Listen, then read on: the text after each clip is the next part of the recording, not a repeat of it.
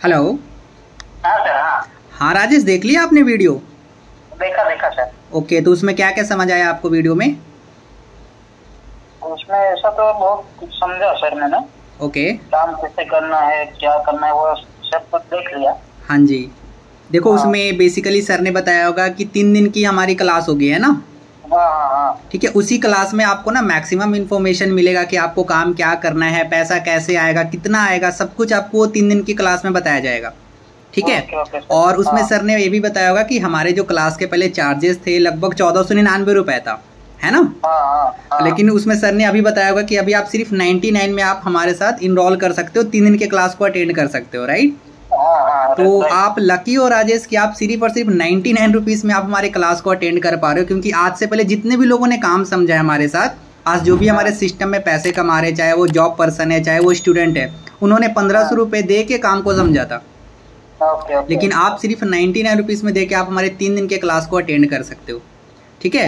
और ये हाँ। क्लास जो है ना कल से स्टार्ट होगी इवनिंग में सात बजे से तो आप फ्री रहते हो उस टाइम पे? कुछ नहीं कर लूँगा। हाँ कर लोगे ना? हाँ कर लेना क्योंकि टाइम तो निकालना पड़ेगा। तीन दिन में आपको तीन घंटे देने हैं रोज एक एक घंटे। ओके ओके ठीक है? हाँ। तो आप बताओ राजेश आप कैसे पे करोगे? क्या यूज़ करते हो? गूगल पे फ़ोन पे पेटीएम क्या चलाते हैं आप? पेटीएम पेटीएम सर अच्छा पेटीएम ठीक है मैं आपको क्यू आर कोड शेयर कर रहा हूँ। आप ना मुझे जल्दी से पे करके स्क्रीनशॉट भेज दो और एक अपना मुझे फ़ोटो भेज देना। ठीक है? ओके ओके सर हाँ जी चलो मैं आपकी सीट कंफर्म करता हूँ। ठीक है? हाँ। हाँ जी okay Rajesh have nice day okay so अभी आपने देखा कि मैंने अभी एक पर्सन को क्लोज किया नाइन्टी नाइन रुपीज़ के लिए। मैंने उनको वीडियो शेयर किया था। उन्होंने just within ten minutes में उन्होंने मेरे को वीडियो देखकर उन्होंने मुझे रिप्लाई किया। ठीक है? उन्होंने रिप्लाई किया आई एम इंटरेस्टेड मैं आपको मैसेज दिखाता हूँ अभी जस्ट आप देख सकते हो यहाँ पे उनका मैसेज आया हुआ है। आई एम इंटरेस्टेड और यहाँ पे नाम भी दिख रहा है आपको, राजेश। इन्होंने मेरा इंस्टाग्राम पे फॉर्म फिल किया था रील देख के तो मैंने इनको इनवाइट किया था, ठीक है? और जैसे ही इन्होंने आई एम इंटरेस्टेड का मैसेज किया, मैंने इनको कॉल किया और अभी आपने मेरी कॉल रिकॉर्डिंग भी सुन ली कि मैंने किस तरीके से उनको इनरोलमेंट के लिए मैंने कॉल किया। और विद इन टू मिनट्स उन्होंने मुझे पे भी कर दिया, मैं आपको वो भी दिखाता हूँ। आप हो, सबसे पहले इनका व्हाट्सएप पे मैसेज आया था hi I am Rajesh share ठीक है? और फिर मैंने किया हेलो फिर उसके बाद मैंने इनको इनरोलमेंट की वीडियो शेयर करी।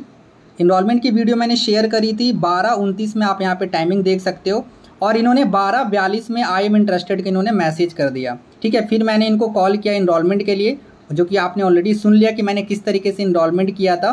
ठीक है, उसके बाद मैंने क्यूआर कोड शेयर किया पेमेंट के लिए, और विद इन वन मिनट इन्होंने पे कर दिया था नाइन्टी नाइन रुपीज़ ठीक है, अब ऐसा क्यों हुआ, मैं आपको थोड़ा सा बता देता हूँ। सबसे पहली चीज़ कि जब मैंने उनको इनरोलमेंट कॉल किया तो मेरा ना एनर्जी लेवल बहुत ज़्यादा हाई था, मेरा कॉन्फिडेंस भी हाई था। तो जब भी आप कॉल करोगे तो आपको अपना कॉन्फिडेंस लेवल हाई करना है हाई रखना है, आपको अपना एनर्जी लेवल भी हाई रखना अगर आपके अंदर कॉन्फिडेंस नहीं होगा एनर्जी नहीं होगा, आपके बात में दम नहीं होगा तो सामने वाला कभी भी आपको इनरोलमेंट पे नहीं करेगा। दूसरी चीज़ ये कि अगर इन्होंने इनरोलमेंट करा, इसका ये भी रीज़न है कि इन्होंने मेरा फॉर्म फिल किया था रील देख के। तो जब कोई पर्सन रील देख के फॉर्म फिल करता ना तो चांसेस ज़्यादा होता कि वो इनरोल करता ही करता, क्योंकि उन्होंने मेरा प्रोफ़ाइल चेकआउट ऑलरेडी कर रखा है। तो एक ट्रस्ट बिल्डिंग ऑलरेडी बना हुआ है। इसीलिए इन्होंने जल्दी पे कर दिया। ये मेरा पहला इनविटेशन था, आज का ये मेरा पहला इनविटेशन था, और पहले पर्सन को ही मैंने इनवाइट किया और उन्होंने इनरोल कर लिया। और भी बहुत सारे लोगों ने फॉर्म फिल किया, अभी मैं उन लोगों को भी कॉल करूँगा। तो आप लोग भी इसी तरीके से इनरोलमेंट कॉल करो शॉर्ट इनरोलमेंट कॉल करो, ज़्यादा लंबा लंबा आप बातें मत करो इनरोलमेंट कराने के लिए। अगर आप ज़्यादा लंबा लंबे बातें करोगे ना तो प्रोस्पेक्ट कभी भी इनरोलमेंट नहीं करेगा। ठीक है, आपने देखा कि मैंने सिर्फ़ और सिर्फ़ एक से दो मिनट ही बात करी और पर्सन ने इनरोल कर दिया।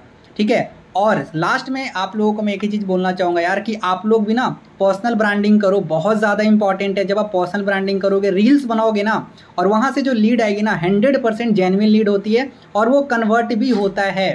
इसीलिए मैं बोल रहा हूँ, आप लोग भी रील बनाओ, बहुत ज़्यादा ज़रूरी है। अगर आप रील बनाओगे ना लीड्स के लिए कभी रोना नहीं पड़ेगा आपको फ्रंट रिक्रूटमेंट के लिए भी सोचना नहीं पड़ेगा। आप हर महीने तीन, चार, पाँच ईयर्स कराओगे, जैसे मैं कराता हूँ, वैसे आप भी कराओगे, ठीक है? तो रील बनाओ, बहुत ज़्यादा इंपॉर्टेंट है, और आपने इसमें जो भी सीखा है, किस तरीके से इन्रॉलमेंट कॉल करना है, उसको आप इम्प्लीमेंट करो, ठीक है? आप भी ज़्यादा ज़्यादा इन्रॉलमेंट निकाल सकते हो।